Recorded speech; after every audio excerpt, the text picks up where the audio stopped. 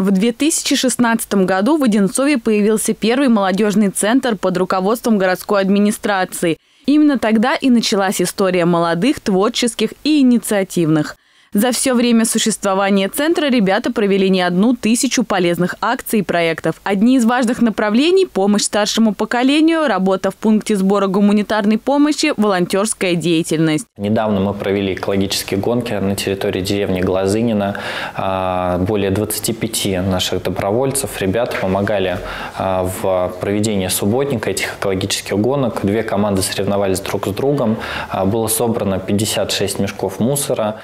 Вячеслав каждое лето принимает участие в акциях, которые проводит молодежный центр. Недавно он помогал жителям проголосовать в ходе проводимого опроса по благоустройству города. Это прежде всего возможность э, оказывать полезную помощь э, другим людям, быть самому полезным кому-то и, соответственно, участвовать в э, различных проектах, э, которые, собственно, этот центр с помощью государства проводит э, непосредственно в Одинцовском округе. Пространство для новых идей, знакомств, опыта волонтерской деятельности. У ребят много интересных задач, которые предстоит решать.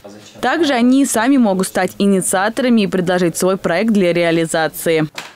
Молодежь достаточно активна. Если мы сейчас с вами будем а, смотреть а, статистику даже по количеству добровольцев на территории Московской области, мы с вами увидим в разрезе с другими округами, что мы сейчас а, находимся на втором месте, а когда до этого были всего ниже десятой строчки. То есть у нас высокая динамика достаточно. На данный момент в центре планируют провести серию акций «Добро ОГО». Фото самых активных добровольцев с их историями разместят на стендах города. Подробнее о деятельности ребят и о том, как отметят День молодежи в Одинцове, вы узнаете в программе «Про молодежь». Екатерина Крамер, Артем Ломоносов, Станислав Трифонов, телекомпания «Одинцова».